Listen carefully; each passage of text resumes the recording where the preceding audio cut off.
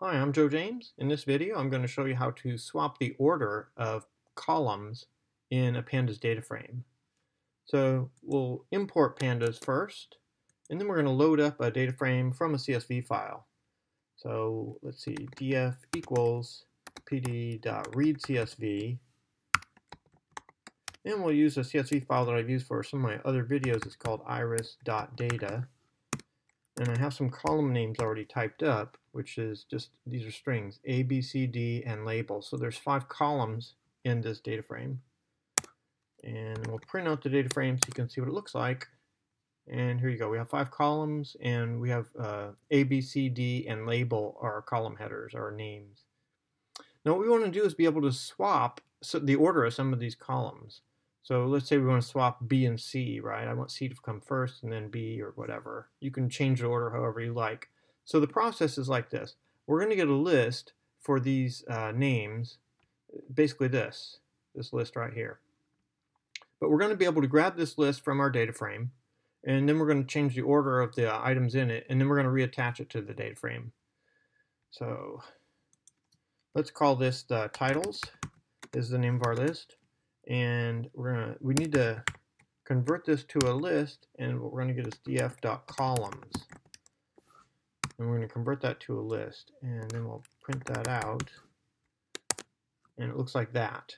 So it's exactly what you know the, the five titles of those five columns that we have. And these are all strings. So it's a list of strings of five strings and we want to swap B and C. So let's see this is index 0 in, uh, number B is index 1 and C is index 2, right?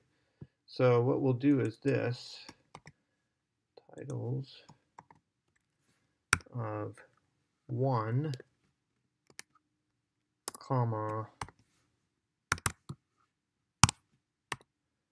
titles 2, and then we'll just uh, swap these.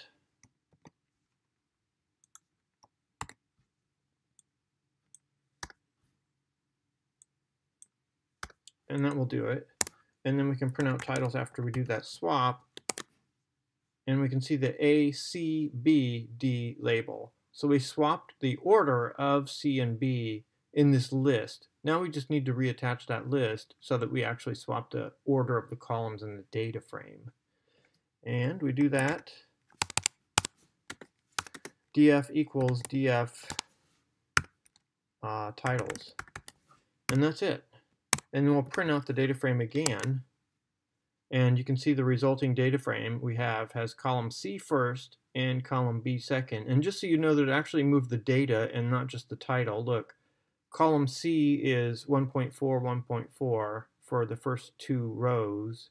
And if we scroll up, we can see here column C is 1.4, 1.4. So it did actually move the data and the title of the column. So that's all there is to it. I hope this video was helpful for you. If so, please click the like button and subscribe to my channel. I'm Joe James. Thanks for watching.